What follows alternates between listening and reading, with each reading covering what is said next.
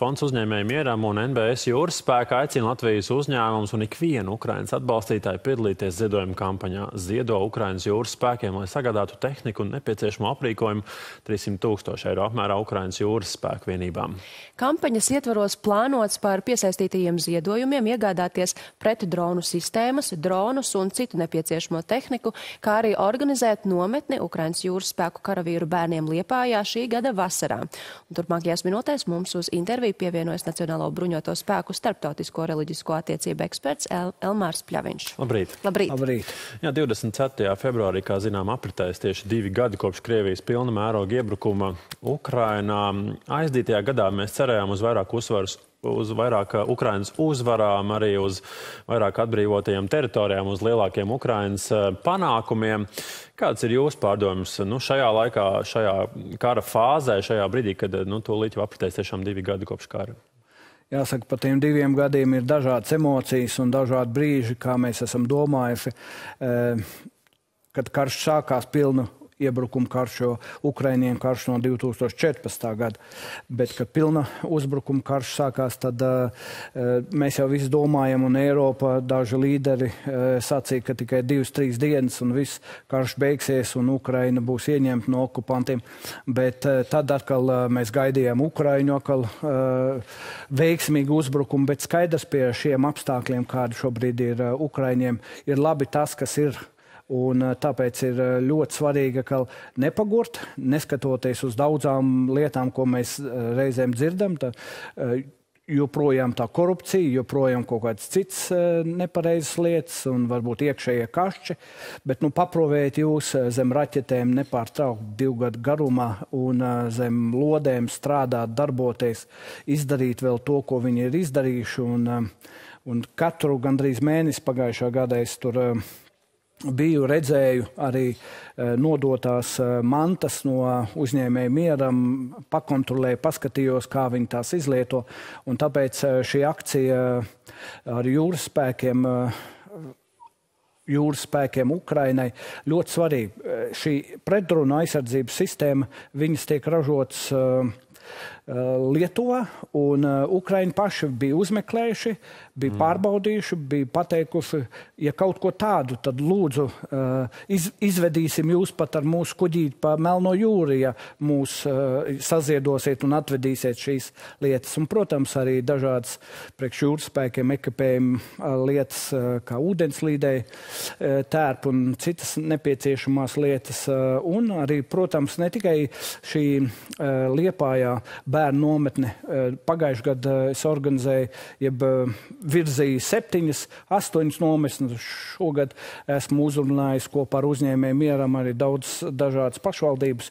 Tāda vismaz 15 gribētu organizēt, jo bērni tā ir nākotne un arī virsnieki un karavīri, viņi saka, bērni tā mūsu nākotne. Mhm. Cik svarīgi ir jūsuprāt sasniegt šīs kampaņas, ziedojuma, ziedojuma kampaņas mērķi? Es domāju, ka mēs sasniegsim kopā ar visiem, jo tā uzticamība jau no uzņēmējiem ir eh, līdz šim bijusi, jo pa šiem diviem gadiem eh, ar uzņēmēju mieram eh, desmit miljoni ir, ir saziedoti un tāpat pikapiem un tehniskām lietām, protams, droni un kompjuteri un viss nepieciešamais, kas ir eh, vairāk vai mazāk, jo mēs orientējamies vairāk uz eh, armijas, armijas vajadzībām. Protams, caur goda konsuliem mēs arī sniedzam eh, palīdzību īpaši jau austrumos. Slovjanskas goda konsuls tur ļoti aktīvi strādā un tāpat Vinicas rietumos, tad arī sniedzam citur to palīdzību, arī Zaporoža, bet šobrīd es domāju, mēs sasniegsim un tas ir ļoti īpaši jau tās pretdrona aizsardzības sistēmas, uh, apmēram viena, vien, vien, viena tāda 18, 19 tūkstoši maksā, un, un jau ir uh, citi uh, arī speciālie spēki ir interesi izrādījuši. Mm -hmm. Es domāju, ka mēs turpināsim līdz 24. mēs šī, šī pirmā akcija, pēc tam turpināsim, lai mēs varētu vēl vairāk šīs pretdronu aizsardzības sistēmas iepirkt. Jā, kā minējāt, tomēr ir svarīgi arī nepagurt, eh, nepagurt no šīs situācijas, protams, un arī turpināt atbalstīt Ukrainu. Bet um, minējāt, ka gandrīz katru mēnesi un sanāca pagājušā gadā būt Ukrainā regulāri dodoties uz, um, uz Ukrainu. Kas mainās iedzīvotāju emocionālajā pasaulē tajā, tajā faktā, ka viņiem ir jāsadzīvo arī šo kāru ikdienā? Nu, viņiem mainās tās emocijas katru dienu. tad, kad es jau janvārī biju, eh, tad eh, noskaņojums bija iedzīvotājiem un karavīriem ļoti feins, tāpēc, kad eh, divas lielās lidmašīnas, izlūk lidmašīnu un lidošo komandu centru notriec Ukraiņu spēki.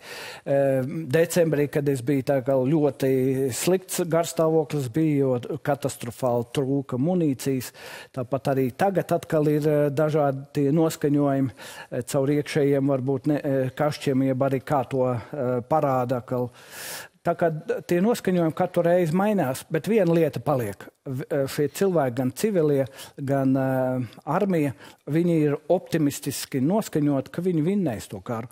Un ar to ticību tu savādāk nemaz bez šīs ticības nevar dzīvot. Šī ticība viņiem ir vajadzīga, lai viņi varētu iet uz priekšu un, uh, un iet līdz galam.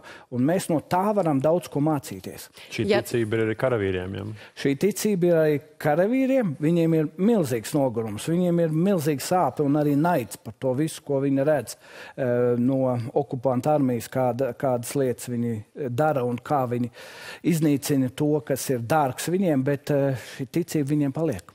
Jūs minējāt, ja janvārī tad, tad pēdējās vizītes laikā šis noskaņojums emocionāli, cik nu kara apstākļos tas ir iespējams iespējams bija labs. Cerams arī, ka uh, Eiropas uh, Savienības piešķirto 50 miljārdu uh, eiro pakete, palīdzības pakete arī dzen uzlabos šo noskaņojumu. Protams, jā, viņi jau seko līdzi. Uh, internets viņiem ir pieejams, Starlings. Līdz ar to mm. viņi ļoti labi seko līdzi, kas notiek un uh, uztraucās, kā būs. Reizēm arī man prasa tos jautājumus. Bet uh, šobrīd ir noskaņojums labs, uh, gatavojās kādām lietām atkal gan aizsardzībā, gan uzbrukumā, bet mēs jau to zinām, kā viņiem iet šobrīd. Bet katrā ziņā viņi optimistiski noskaņoti. Un katra mūsu tā mazā vai lielā palīdzība nav svarīga. Mm. No lielām organizācijām, fondiem fondiem, eh, kā uzņēmējiem mieram vai maziem, vai ziedot LV, vai citā, citām organizācijām, eh, tad, tad eh, ļoti, ļoti labi, ka mēs to varam un turpinam.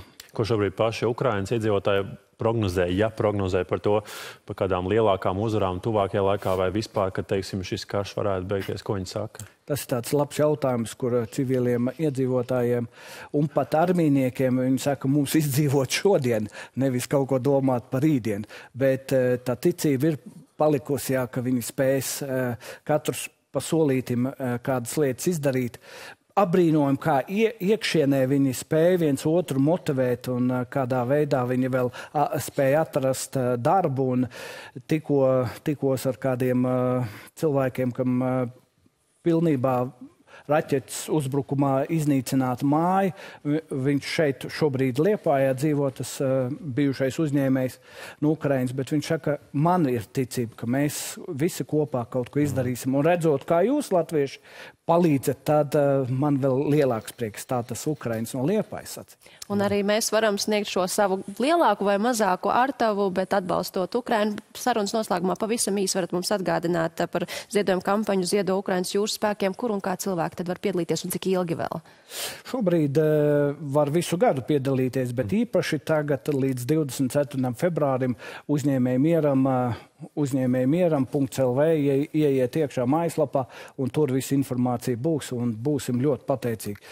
Jūras spēki eh, īpaši jūras spēkiem Ukrainā, un tad varēs vēl kādu kutarīti eh, nogāzt lejā, un tas, kā, esam par visu pateicīgi. Ticība Ukrainas uzvarai un ticība arī Latvijas iedzīvotāji turpinās atbalstīt Ukrainu šajos grūtajos apstākļos. Paldies šorīt par sarunu.